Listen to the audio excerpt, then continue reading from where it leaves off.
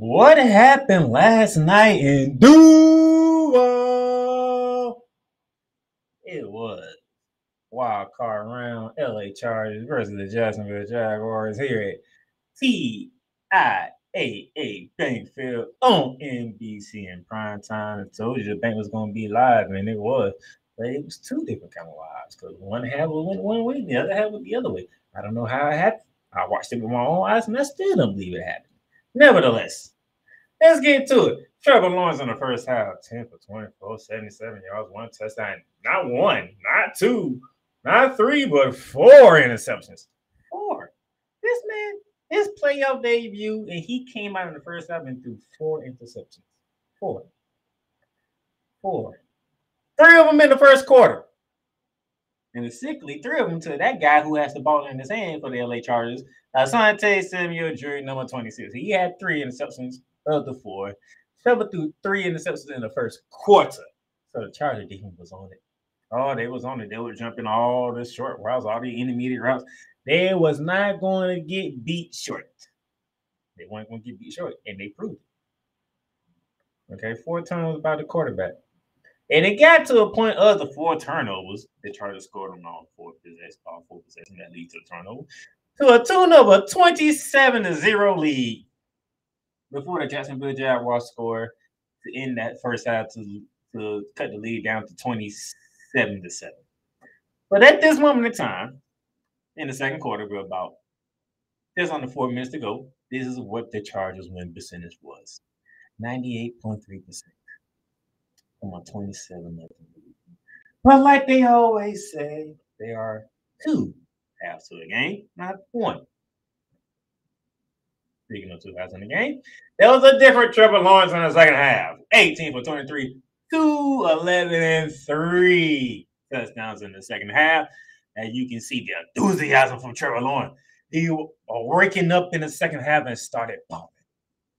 Nevertheless, the Jaguars go on to complete the third largest comeback in playoff history, thus winning 31 to 30 over the Los Angeles Chargers.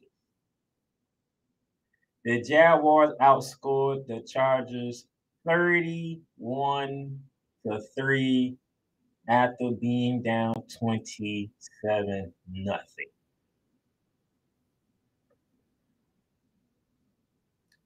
Which leads Justin Herbert walking off TIAA Bank Field looking like this of this big collapse in his first playoff debut, by the way.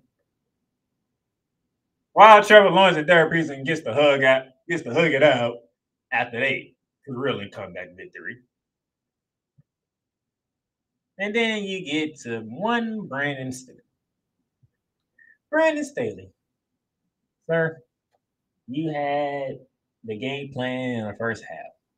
Second half, Doug Pederson out there. You see, this guy here who's hugging Trevor Lawrence is the head coach of the Jaguars, who is a Super Bowl champion coach from the Philadelphia Eagles who beat Tom Brady in the league and the Patriots.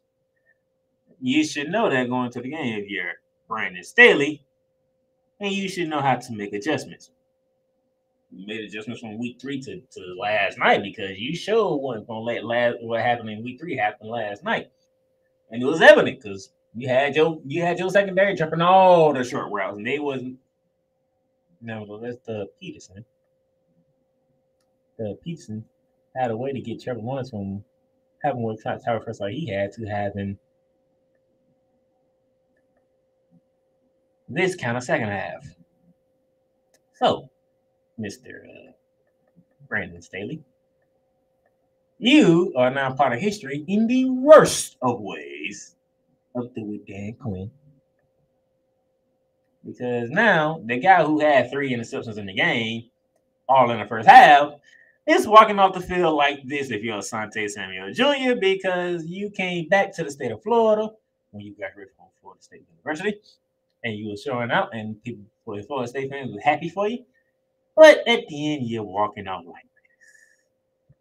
Because Brandon Staley and the Chargers are the first team since 2000 to lose a playoff game. with a plus five turnover margin.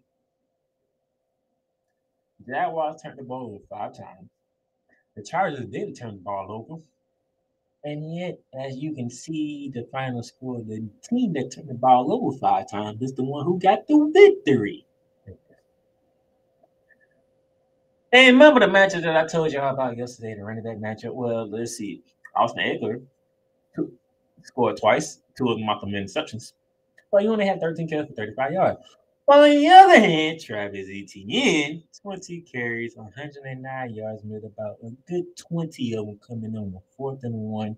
That set up the game winning. Brandon Staley. Guess what? The biggest blown lead in Charger history. Shout out to SB Nation for this. Want to give credit credit due. The Chargers were up 27 0 on the Jaguars but less than a minute to go in the second quarter. That's when the Jaguars scored a touchdown. They won at halftime 27 to 7. It is the third largest blown lead in the NFL playoff. Brandon Staley, I would be very surprised if you keep your job after this one. Because you let a team who was down four possessions, four possession come back and beat you. That's a damn shame. In your playoff debut alone with Justin Herbert. Justin Herbert deserves better. And the Chargers franchise deserve better. And you're not providing it. One more time for the home team. And a glorious victory for the Jaguars. I'll do it one more time for them. Duval!